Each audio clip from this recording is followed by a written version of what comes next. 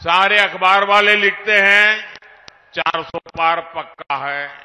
सब लोग कहता है कि भी एनडीए का जय जयकार है।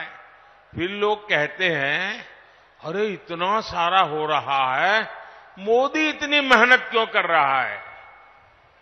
भाइयों बहनों, चुनाव तो आपने जीताना तय कर लिया है। मैं तो मेहनत इसलिए करता हूँ कि मुझे आपके दर्शन करने का सौभाग्य मिल जाता है। अपनों से मिलने का आनंद होता है, अपनों को मिलने से ऊर्जा मिलती है, अपनों को मिलने से प्रेरणा मिलती है, और इसलिए मैं आपके बीच आता रहता हूँ। और भाइयों बहनों, इतने सारे काम हुए। कोई ये कहेगा, यार मोदी जी, बहुत हो गया, इतिहास में नाम हो गया अब तो आराम करो।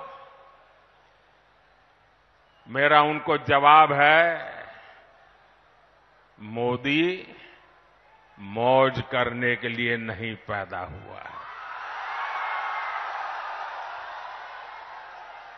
मोदी मेहनत करने के लिए ही जन्मा है। और वो भी 140 करोड़ देशवासियों के लिए।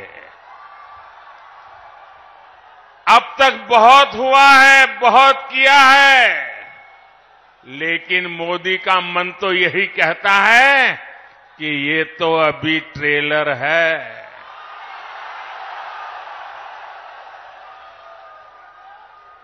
इतने से हमें रुकना नहीं है। अभी तो गाड़ी टॉप गियर में ले जाना है। अभी तो रनवे पर हैं। नई ऊंचाइयों को पार करना है। अभी तो बहुत कुछ करना है। हमें देश